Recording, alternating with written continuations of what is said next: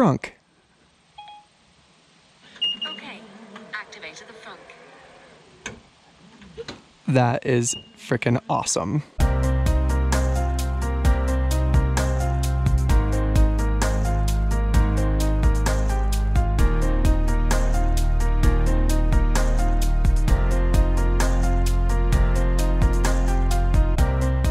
Good everything and welcome back to Tesla's Wild. Today I'm pretty darn excited. I have a very cool Tesla Model 3 product review and install for all of you. So today we have an auto open and auto close trunk and frunk system from a new company called Hansshow.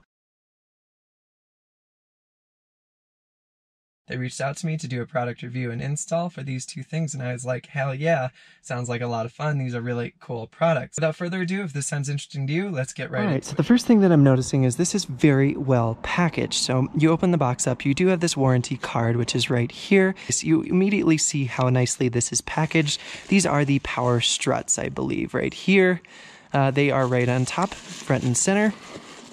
So if we pull out this foam, then we have the remainder of the hardware, which is a bunch of wiring, uh, some sort of, wow, this is going to be pretty involved from what I can tell, but we're going to find out here. This is some sort of actuator with a pulley or a thing right there. Very interesting. Okay, so we're going to try and parse through all this stuff and get ready to install. So, very first step, we are in the frunk right now. We're going to do the frunk first. So we have to remove basically all of this trim in here. So every single piece is just held on by a variety of clips. First of all, we're going to take this guy off. You can just pop it right off. I pulled it off a little bit, but as you can see, there's some white little clips right here that just will pop off if you put enough force on them. Um, you won't break anything, at least as far as I can tell, and then it just lifts off just like that. Next up, you need to remove this AC or this uh, HVAC system right here. It's just more white clips, as you can see. So you should be able to just pull up on these guys and pop them out and do the same all around and that will lift right on out. The next step is removing this entire black piece right here. Right, so, so there are seven bolts you need to remove in here in order to remove this black trim. So you have two right here which are underneath the button pressing. You can just pop that out and unplug the button. There's two right here two inside of the bag clips, and the seventh one is up near the windshield washer fluid reservoir. So these are 10 millimeter bolts. So we now have all seven of the bolts removed. Let's get on to removing these. So these are secured mainly by more clips, but they're a little bit different. So I like to start up in the corners here and just pull up on each little piece and you'll start to hear them release. I don't know if you guys can see this, but it's basically a plastic piece that goes down inside of another one and it's just a pressure fit. So just work your way down and they will start working their way out. All right, so now we have it fully released. So at this point, it is just a matter of lifting it out and making sure that it clears everything in the path.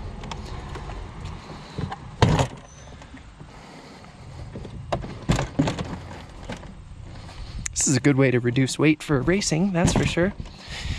All right, so now, as you can see, this is a pretty cool view. We have a view of the inside of this front end here. We can see the motor and all sorts of fun components in here. From here, it's all about wiring. So I have already installed this. One of the things that was hard is the wiring diagram is not very helpful.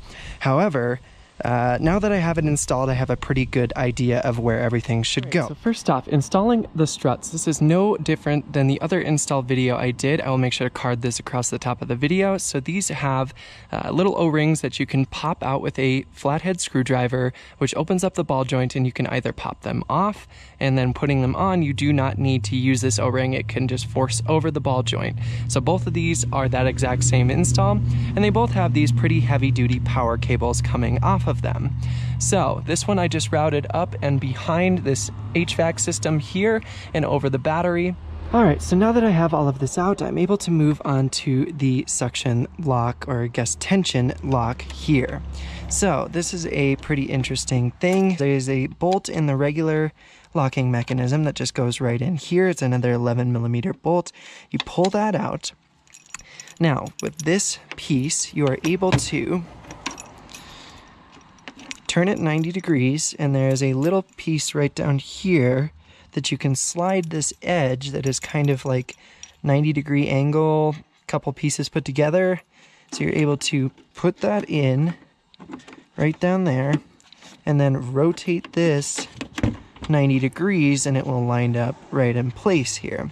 Then we can pop the screw right in. All right, now that that is sufficiently tight, I believe we're able to just pop this on here, maybe. Okay, so it turns out I had this backwards. Basically, I had it flipped this way, but we want it flipped the other direction and put on the exact same spot. Okay, now they've provided us with some springs that we're going to throw on back to this original mounting point where the easy open spring thing was. that they give you is a controller. So the controller is this box right here. I have it secured with double-sided tape onto this basically uh, sway bar looking thing inside of the engine bay or the, I guess, motor bay inside of here. So this is just basically set up for everything to plug into. So we do have the power cord from the other strut. We have this cord from this strut. Those two just plug right into these blue pieces right on the back here. Next, we have a cable that is pretty complicated and has to do with all of this system up here. So I have all of these all kind of bundled up. I still need to secure them. However, the next thing that we have is the grounding system right here. So this is just a ground cable and you, I secured it to this bolt right on the frame over here as you can see. So it's just secured right to that. The next thing we have is a power cable which just secures right onto the positive terminal of the battery. Just unscrew this guy. It's got a nice little thing that you can put underneath the bolt and secure there. This is the fuse. What we have here is a beeper or a buzzer and it is absurdly annoying. So I've actually unplugged it. However, it's kind of essential for changing the different settings. So this thing has, I think, six different speed settings for opening and closing, which is pretty darn cool. Um, the slowest setting is very, very slow. So you're definitely going to want to have this thing plugged in at least enough to be able to change those settings. We have the original push button emergency release inside the vehicle. This is what is inside of here and plugs directly into this guy. So you're going to pop it out of there and they give you a harness that can actually, it's actually a direct fit, but it has two cables coming off of it. So it has its own replacement, which is one to one to this emergency release plug, and then it has this guy, which attaches into here. So this cable has two other plugs. So down inside, right underneath here, there is a motor. So this motor is attached to this metal uh, pull string, which ends up pulling this guy backwards. So you're basically overriding this with their plug. Again, there's another one-to-one -one fit. So you plug the Hansshow system into the motor and then you plug the old motor plug into the Hansshow system here. The same thing applies over here. This is the original sensor to tell this cable to move over on this side. So you're able to unplug it from this harness and then Hansshow provides you a two double-sided uh, retrofit that basically this is their version and you can plug the old version into here. So you're basically overriding the normal system. Now, the most janky part about this is their motor, which controls this cable right here. This is the motor for that. They don't give you a really good way to mount that, so the best way to do it is to use their double-sided, their provided double-sided tape and mount it as far under here as you possibly can. So you can see that I have the regular line that runs right here, which attaches to this guy. So there is a spring right here, which we've seen. This is the easy open and easy close spring that I've done in a previous video. This is a piece that is their retrofit. These instructions are very good. So this whole system is pretty simple to install except for the wiring. The wiring is the most difficult part. And as you'll see, I actually have a single unused plug right here, which is pretty unfortunate. If you look on the controller, there's actually an open plug right here, but this does not fit in there. So I'm not really sure where this needs to go. It is not inherent in the directions.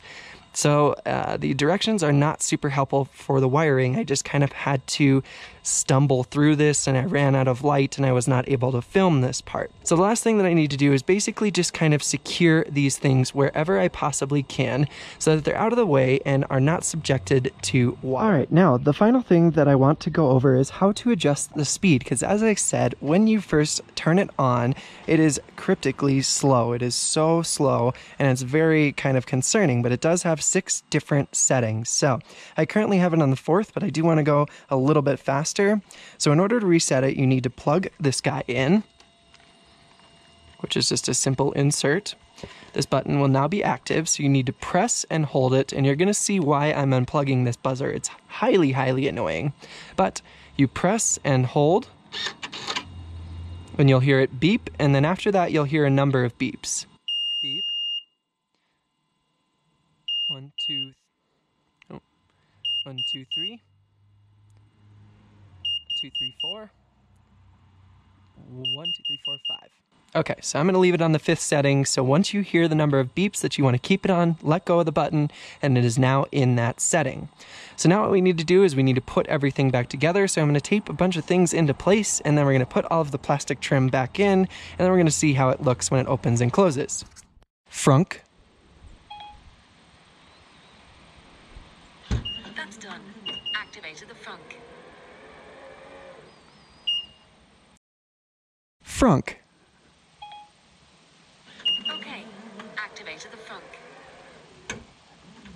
That is freaking awesome. All right, so there we have it. We installed the Power Frunk from Hansshow Auto. So this was super cool. It was a pretty tough install. I'm not gonna lie, it was actually rather difficult. For all of the things that I've done on this channel, this was definitely the most difficult. Everything was pretty easy up until the wiring. The wiring diagram in the instructions is pretty insufficient, so I kind of just had to figure it out on my own and see what plugs looked like they went where and what would fit into what. So it was rather difficult, but in the end it did work out and it works like an absolute champ. Uh, something really cool about this is that it also works with Siri. So you can now use Siri to open and close your frunk.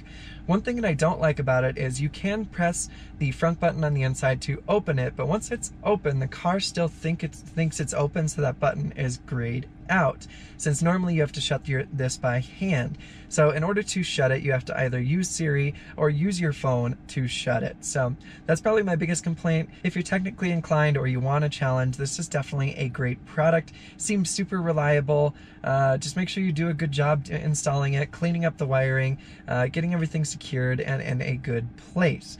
Um, it is rather slow, so I would definitely recommend speeding it up. I usually have it at a setting of 5 or 6. 6 is the fastest, 5 is almost there. Either way, you're going to probably be more happy with that than when it's lower because that's super slow. Anyways, like I said, 21.3% discount if you use the discount code Tesla's Wild One. Links and discount codes are in the description below. Make sure you stay tuned because I actually have an auto trunk video coming soon by the same company, uh, and you can get an even better deal if you buy both of these products together. I know they are expensive, but it is definitely worthwhile. So I hope you guys enjoyed this video. If you did, please make sure to smash that like and subscribe button down below. Thank you so much for taking the time to watch this video. As always, I have a lot of new content coming your way, so make sure you stay tuned, and we'll see you guys next video.